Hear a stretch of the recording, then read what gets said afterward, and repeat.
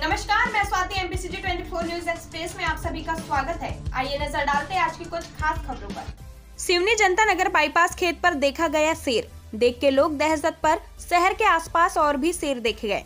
One विभाग की लापरवाही का नतीजा है। शेर पकड़ाई में नहीं आ रहे हैं और आदमखोर होते जा रहे हैं।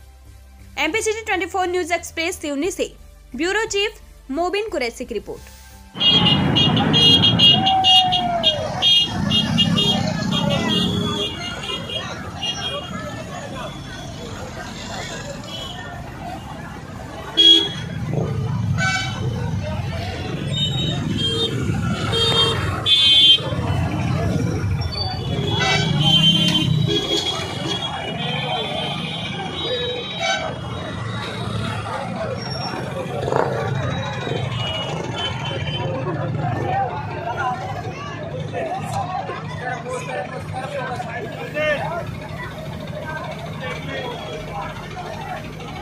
बने रहिए हमारे साथ MBC twenty four news express में। तब तक के लिए नमस्कार।